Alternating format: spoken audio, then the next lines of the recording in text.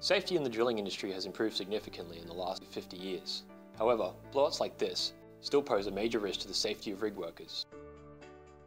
While new drilling techniques offer an increase in efficiency, they can still present unexpected challenges. We are the MEC 4552 Origin Drill Pipe Torpedo team, and we have been asked by a representative of Origin Energy in association with Savannah Energy Services to design a system to block off a drill pipe to prevent blowout. The team consists of myself, Cameron Blair, Shubham Deshwal, and Aditya Shetty.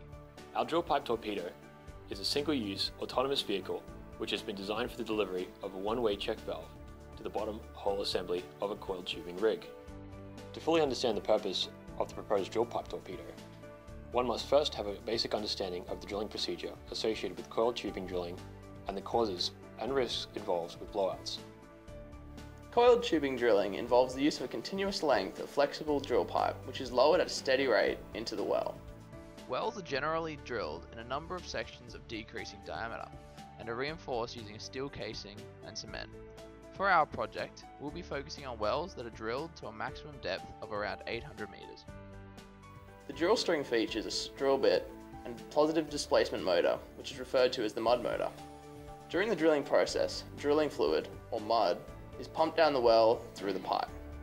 The purpose of this drilling fluid is to power the mud motor, lubricate the drill bit, and carry all the cuttings back up the well through the annulus.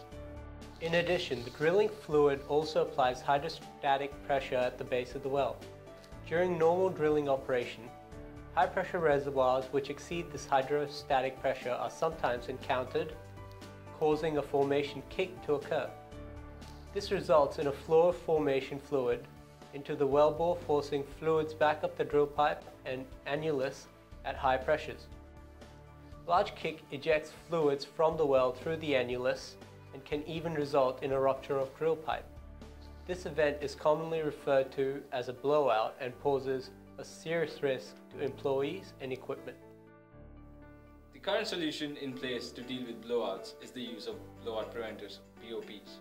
The BOP consists a pair of opposing rams which close around a drill pipe, sealing off the annulus.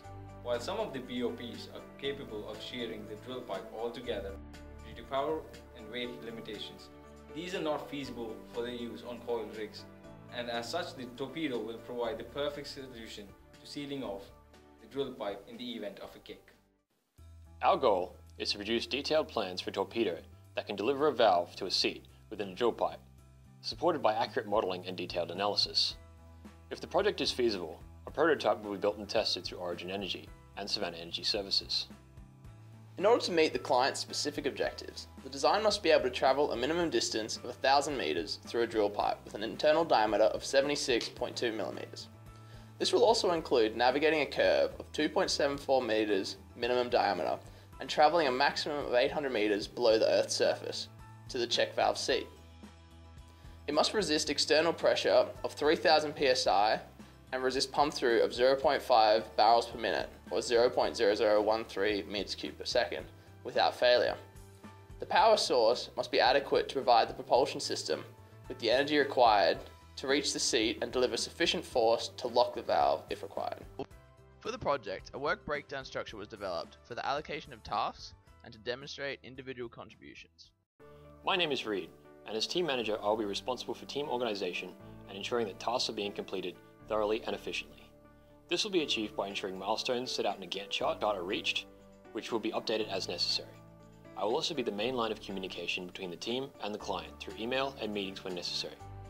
As a mechanical and aerospace engineering student, I am also responsible for the propulsion and fluid dynamics element of the project.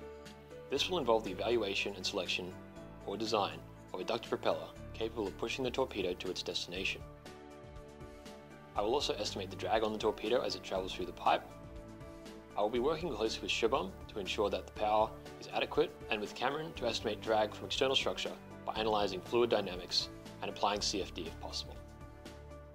I am Shubham Deshwal and I am responsible for assigning an agenda for each team meeting and taking minutes. This is to ensure that constant progress is occurring to achieve the set deliverables and milestones. This process involves the primary discussions of matter which need to be analyzed during each team meeting in our class sessions and results in more productive team meetings. The technical area which I will primarily investigate will be power generation. This will involve an analysis of a suitable DC power source or battery which will power the propeller for the duration of the operation. The major concern so far was to find one which was powerful enough for the task but small enough for the design. I will also be responsible for the control system and the initial launch mechanism. My name is Aditya Shetty and I will be responsible for the, the internal structure of the drill pipe torpedo, which is basically reinforcing the structure to withstand extreme hydrostatic pressures. This will be analyzed using uh, finite element design packages to simulate the forces caused by external pressure. In collaboration with my fellow colleague Cameron Blair, I will be ensuring that the internal and the external structures are compatible. Additionally, I will be researching and evaluating the check valve to be seated in the drill pipe, ensuring that it meets the specifications requested by the client. My responsibilities also involve communicating with valve suppliers to purchase the right valve and analyze the fluid flow. My name is Cameron Blair, and like Reed mentioned earlier, I will be responsible for the external structure of our proposed drill pipe torpedo. This will involve the mechanisms in which the torpedo will utilize to navigate around the curves of the spool and gooseneck. I'll be responsible for developing these mechanisms by researching existing technologies and adapting them to fit our design's specific requirements. In addition, once all internal components have been finalized, I'll be responsible for determining the final dimensions of the torpedo. I'll be working with Aditya to ensure that the internal structure is compatible with the external structure through the use of FEA, and I'll also be working with Reed to determine the external structure's behavior during and ability to survive pump through conditions through the analysis of fluid dynamics. Blowouts pose a serious risk in the drilling industry.